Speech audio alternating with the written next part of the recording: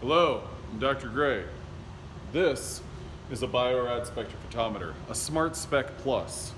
In order to use a SmartSpec Plus, the first thing that you need to do is turn it on.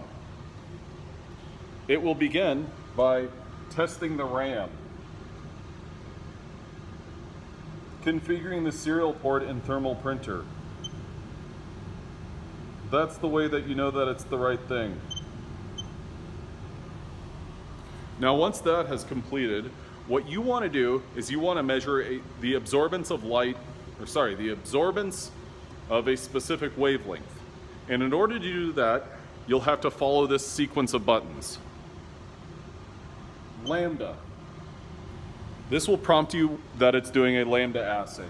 We are going to be measuring one wavelength. So simply press enter. Then it prompts you for what wavelength are you measuring. For a Bradford assay, we're going to punch in 5, 9, nope, 9, 5. Then we'll press enter. We do not want to subtract background reading, so we'll say no. Ready to read absorbance. At this point in time, what you're going to do is you're going to get your visible light cuvette and you're going to put 900 microliters of your Bradford reagent in it. Once you've added 900 microliters of your Bradford reagent to your, your cuvette, you're going to press read blank. Your spectrophotometer is blanking. It gives me a reading of 0.00. I'll press continue by pressing the right button. Now, my spectrophotometer has been blanked. What I can do at this point in time is I can make a new mixture with 900 microliters of my Bradford reagent, 100 microliters of my protein fraction, or 90 microliters of my protein fraction, and 10 microliters of water.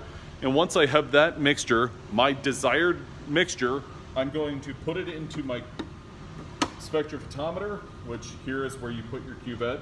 There's an arrow on your cuvette that you want to align with the arrow right here. I'm going to close that, and then I'm going to press read sample. Lo and behold, as it measures the absorbance, well, it gave me a reading of negative 0.001. This is a negligible amount. This is a difference that I don't really care too much about for this proceeding.